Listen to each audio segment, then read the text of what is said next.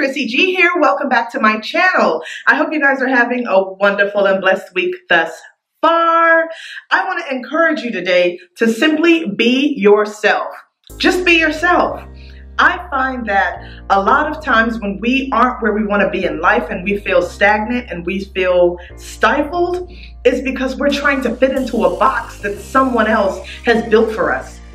You don't have to change who you are or dim your light to fit into any category that man has established because all you need is who God said you are and believe in that and walk in that image. Don't change yourself for people. Stop dimming your light to fit into circles that were never meant for you. Stop trying to be who you aren't. Stop trying to pretend and build this fake persona so that people will accept you, so that you'll be loved and adored and admired. That is not who God wants you to be, and that is not what God has for you. God wants you to be greater than that. God says, do not be conformed to this world, but be transformed by the renewing of your mind.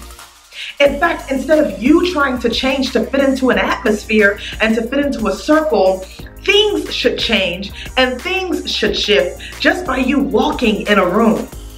Your light should be so bright that it affects other people positively. So shine your light and beam it out for everybody to see because you shouldn't be ashamed of yourself. You should be proud of who you are. You should be proud of who God made you. You should be proud and confident in the gifts and talents that you have to bring to this world. Be who you are and don't change for anybody.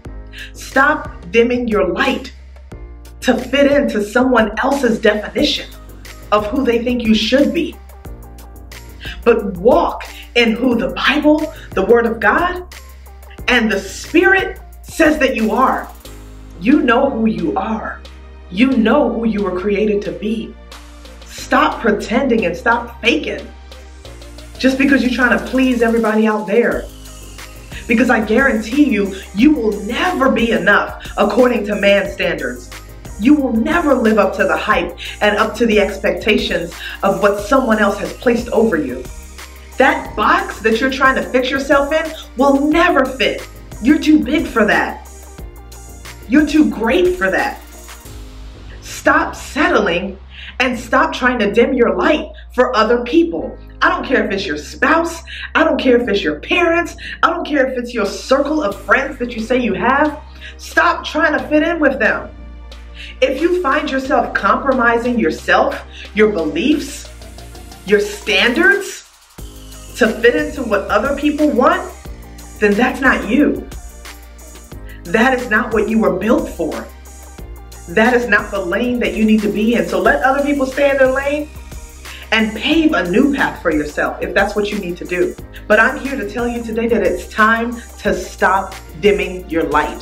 Stop trying to fit in. Live above the bar. Live above the standard. And do what is great in you. Do the wonderful things that you know how to do. Because you know what's in you because you know who you are. And confidence is attractive, okay? Stop pretending to be insecure. Stop pretending that you don't know how to do things and you don't know where you need to go.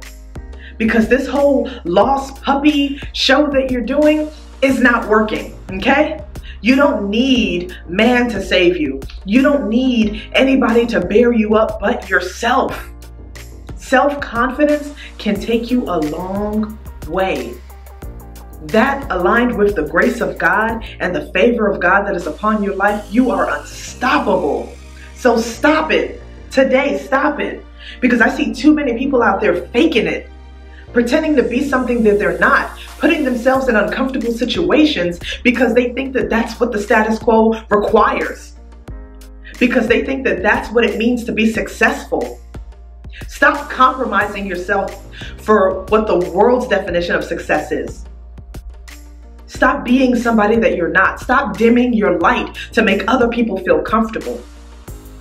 If people are disturbed by the Christ and the Holy Spirit that is in you, then that's a personal problem between them and their demons. that has nothing to do with you and that has nothing to do with the mantle and the grace that is upon your life and upon your purpose. So stop hiding your light. Because a city on a hill cannot be hidden, right? And you are a city on a hill. And you are the salt of the earth. And you are everything that God has proclaimed over your life. Stop selling yourself short. Stop dimming your light and stop compromising yourself for other people. You are worth so much more than you are currently aspiring to be. Challenge yourself, be more, do more, and stop trying to fit in. When you release yourself of the burden of trying to live up to other people's expectations and trying to fit in to this little box that society is putting you in, you will open so many doors for yourself. I mean, the possibilities would be endless simply because you made the decision to free your mind and free yourself from the burden of trying to be like everybody else. I'm done with trying to fit in.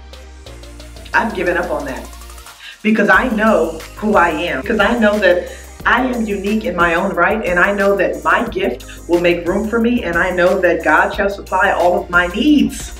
Okay? So as long as I seek Him first, and I do everything that is in my power to work hard, to be brave, and to go out there courageously being myself and not dimming my light for anybody, that there is nothing that can stop me. Nothing. So stop dimming your light and stop making yourself small so that other people can feel great.